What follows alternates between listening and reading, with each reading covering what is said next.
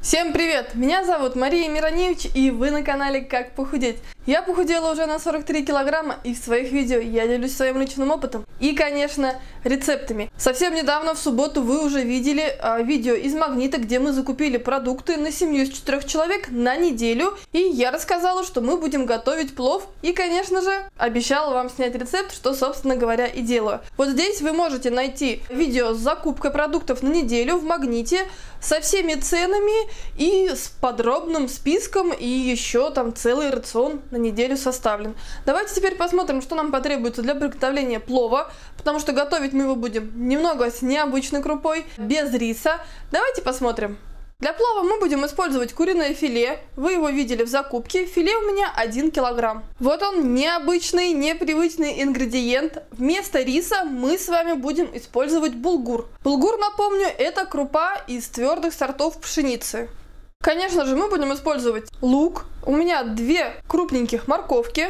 Еще нам понадобится 2 столовые ложки растительного масла, у меня самое обычное подсолнечное. И по вкусу я буду добавлять любимую в нашей семье приправу. Кумин зиру, мы тоже ее снимали в закупке. Поскольку плов мы будем готовить с куриной грудкой, которая очень нежная, сначала я буду добавлять лук и морковку. Под казаном я уже зажгла огонь. Отправляем лук-морковку, поджариваем, а потом уже будем добавлять мясо для того, чтобы оно осталось нежным и сочным. Сухое мясо нам в плове совсем не нужно. Наливаем 2 столовые ложки растительного масла сразу в казан, чтобы оно разогревалось, пока мы нарезаем овощи. И начинаю нарезать я овощи с лука. Лук я нарезаю самым обычным средним кубиком. Вот таким средним кубиком мы нарезаем лук и сразу, не дожидаясь того момента, как нарежем морковку, будем отправлять его в казан. Разогретое масло отправляем лук, он сразу начинает шкварчать, это замечательно, значит масло у нас разогрето. И мы сейчас с вами приготовим замечательный, ароматный и очень полезный плов. Пока лучок у нас уже начал золотиться, я нарезаю морковку. Морковку для плова я всегда нарезаю вот такой крупной соломкой, потому что для меня морковка это самое вкусное, самое сладкое, что есть в плове.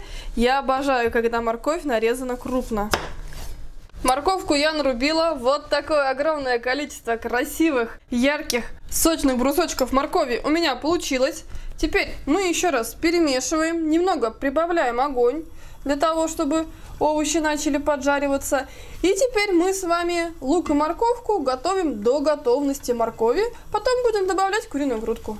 Лук с морковкой уже поджарились около трех минут. Добавляем кумин, перемешиваем. И аромат настоящего плова уже наполняет нашу кухню. Теперь буквально полминуты перемешиваем все это и будем уже добавлять мясо, потому что если зеро обжаривать дольше, то она может начать горчить. В общем, нам такого совсем не нужно. С зерой мы поработали, добавляем килограмм куриного филе. И, конечно же, перемешиваем. Грудки для обжаривания нужно совсем немного времени, поэтому обязательно в процессе нужно посолить. Конечно же, поперчить по вкусу. В принципе, других специй, кроме зиры, соли и перца, я не добавляю. Еще раз, конечно же, перемешиваем. Теперь для того, чтобы наш плов получился вкусным, я наливаю сюда литр воды. И сейчас мы с вами, можно сказать даже бульон или зирвак для плова, будем доводить до вкусовой готовности. Сейчас я перемешаю, попробую, как нам такой вкус. И, естественно, сразу солю для того, чтобы и булгур тоже имел насыщенный, пряный и, конечно же, слегка слоноватый вкус. Я попробовала, присаливаю, естественно, по вкусу. Добавляю еще немного перца. В процессе приготовления останется только аромат. Сейчас перемешиваю, и мы с вами уже будем добавлять булгур. Зирвак закипел, потому что я прибавила сейчас огонь. Накрыла казан крышкой. Пора добавлять булгур и ждать уже нашего вкусного ароматного плова. Крышку я открыла, огонь убавила до минимального, на нем мы будем продолжать готовить.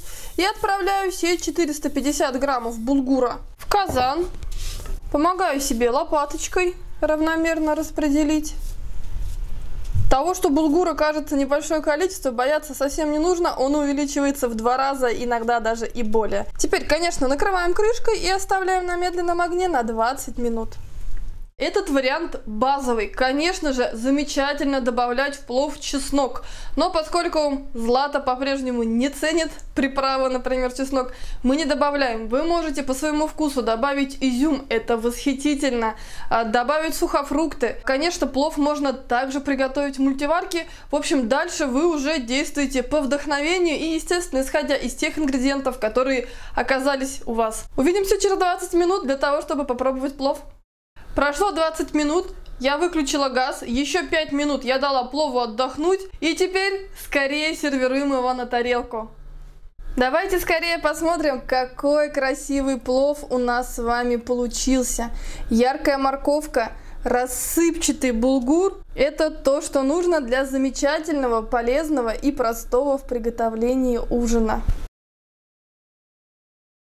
Сегодня мы с вами узнали, что плов можно приготовить за полчаса из куриного филе и грудка. В таком рецепте, при таком способе приготовления не становится сухой, а она становится замечательной, сочной, впитывает в себя ароматы специй, просто восхитительный плов мы приготовили за полчаса и, конечно, что немаловажно, такого объема на нашу семью из четырех человек хватит на два ужина. А это значит, что на следующий день мы приходим с работы, достаем из холодильника ужин и наслаждаемся им и не тратим время, которое мы можем посвятить себе и своей семье.